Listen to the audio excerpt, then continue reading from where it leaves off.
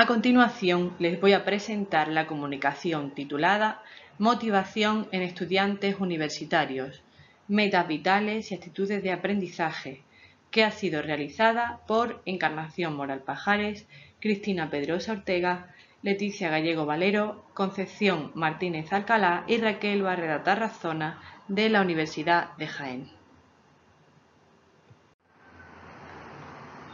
Comenzando por los antecedentes, la renovación metodológica que impulsa el Espacio Europeo de Educación Superior implica un nuevo enfoque didáctico, dándole mayor importancia al aprendizaje motivacional que a la enseñanza.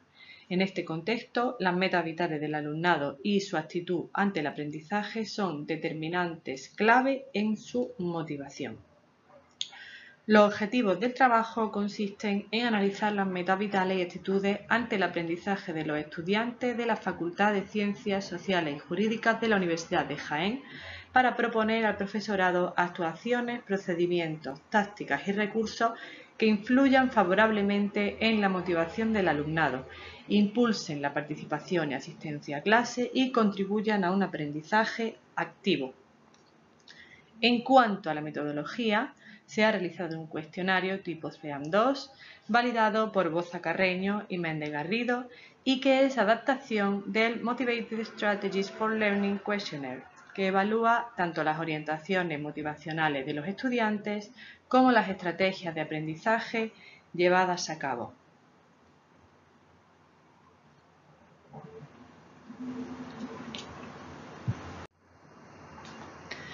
La recogida de datos tuvo lugar durante el mes de noviembre de 2020 y mayo de 2021 a través de la plataforma de docencia virtual ILIAS mediante un cuestionario online autosuministrado. Para el estudio realizado se han utilizado las respuestas de 523 alumnos de las siguientes titulaciones grado en Administración y Dirección de Empresas, con 151 alumnos, grado en Derecho, 149 alumnos, grado en Finanzas y Contabilidad, 39 alumnos, grado en Administración y Gestión Pública, 16 alumnos, grado en Relaciones Laborales y Recursos Humanos, 34 alumnos, grado en Turismo, 34 alumnos, grado en Derecho y Administración y Dirección de Empresas, 58 alumnos, grado en Administración y Dirección de Empresas y Finanzas y Contabilidad, 23 alumnos y grado en Estadística y Empresa, 19 alumnos. En cuanto a los resultados obtenidos, en el primer gráfico, las metas vitales de los alumnos de la Facultad de Ciencias Sociales y Jurídicas de la Universidad de Jaén que han obtenido una mayor puntuación son las referidas a M13 Estudio para tener un futuro mejor, con un 98,9%. M15, Estudio para tener una vida segura, con un 96,7%. M14, Estudio para ganar dinero, 96,6%. Todas ellas relacionadas con asegurar el porvenir y el logro de unas condiciones de vida adecuadas que garanticen su bienestar con seguridad, competencia, dinero y éxito. El segundo bloque más valorado corresponde a las metas cognitivas, relacionadas con el saber y el comprender. M4, estudio para saber, 92,7%, y M5, estudio para comprender en profundidad la materia, 91,4%. De estos dos primeros bloques, en más de un 90% los encuestados respondieron a las cuestiones formuladas sobre los aspectos considerados como estoy de acuerdo, muy de acuerdo o totalmente de acuerdo. Las metas sociales relativas a ayudar a los demás y a la responsabilidad social son consideradas en conjunto como de menor importancia. En esta categoría se incluyen las siguientes. M12, estudio para poder ayudar a otros, 85,5%. M10, estudio para asumir una responsabilidad social, 84,9%. Y resultan escasamente significativas razones como M1, estudio para tranquilizarme, para evitar el estrés. M12, estudio para ser mejor que los demás. M7, estudio para sentirme único, diferente a los demás. O M9, estudio para ser valorado por los demás.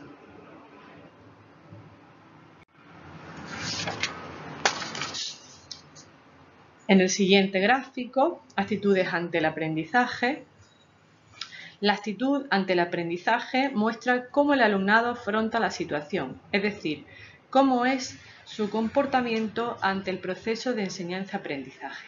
Así, los ítems más valorados por la mayoría de los estudiantes encuestados de la Facultad de Ciencias Sociales y Jurídicas de la Universidad de Jaén son los siguientes. A 14 atribuyo mis éxitos a mí mismo con un 95%, a 2 confío en obtener buenas calificaciones con un 91,8% y a 10 me esfuerzo en las tareas que considero importantes o útiles con un 90,4%. Más del 90% de los encuestados son los que están de acuerdo, muy de acuerdo o totalmente de acuerdo con las afirmaciones anteriores unos resultados que están en línea con el hecho de que un 81,85% responda que su rendimiento se asemeja a sus expectativas, que un 82,4% declare estar de acuerdo con la afirmación sobre A11 siempre pienso que soy capaz de hacer las tareas o que un 79,7% considere que las dificultades lo motivan y suponen un reto. Sin embargo, sorprende que frente a la actitud que evidencian los datos referidos, entre un 86,4% declaren tener miedo a fracasar en los estudios o que un 68,6% afirme que estudiar le genera ansiedad. Por su parte, las afirmaciones menos valoradas se refieren a A7, me es indiferente conseguir realizar bien la tarea, A9, hago solamente las tareas que me interesan o de atribución de logro externa, que se corresponde con los ítems A13 y A15. En conjunto, se deduce una vinculación directa entre, por un lado, la percepción que el alumno tiene del esfuerzo que realiza y su compromiso con el estudio, y por otro, el miedo a fracasar o el estrés que le genera estudiar. Por tanto, se puede apuntar que las actitudes ante el aprendizaje más significativas para el alumnado de las titulaciones de ciencias sociales y jurídicas están relacionadas con la orientación al éxito y la atribución de logro interna, siendo las menos valoradas las actitudes relacionadas con la consecución de logro externo, así como la reasignación ante el fracaso y en las actitudes de retraso y desinterés en la realización y entrega de actividades. Para concluir, hay que decir en relación a las metas vitales que son cinco las razones que principalmente determinan la motivación de los estudiantes de la facultad, independientemente de la titulación cursada. Tener un futuro mejor, ganar dinero y tener una vida segura, aumentar sus conocimientos y conocer en profundidad la materia. En cuanto a las actitudes ante el aprendizaje, casi un 90% declara implicarse mucho en la realización de sus actividades académicas. Además, más del 90% está de acuerdo, muy de acuerdo o totalmente de acuerdo cuando se les pregunta si confían en obtener buenas calificaciones, si atribuyen su éxito a sí mismos o si se esfuerzan en las tareas que consideran importantes o útiles. Sin embargo, entre un 86,4% declara tener miedo a fracasar en los estudios y un 68,6% afirma que estudiar le genera ansiedad.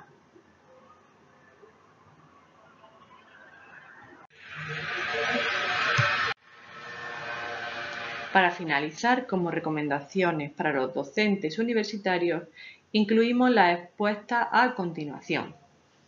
Inclusión en el desarrollo de la actividad docente de factores motivacionales vinculados a la orientación profesional de los alumnos, promover la realización de actividades, tareas y ejercicios que permitan comprender la aplicabilidad en el desarrollo de la actividad profesional, la realización de talleres o conferencias, en las que participen profesionales de la titulación, la realización de actividades que partan del interés del alumnado, en la exposición del profesor, facilitar a los alumnos tomar apuntes señalando frases claves, realizar actividades que favorezcan la metacognición y procurar que los estudiantes progresen a su ritmo.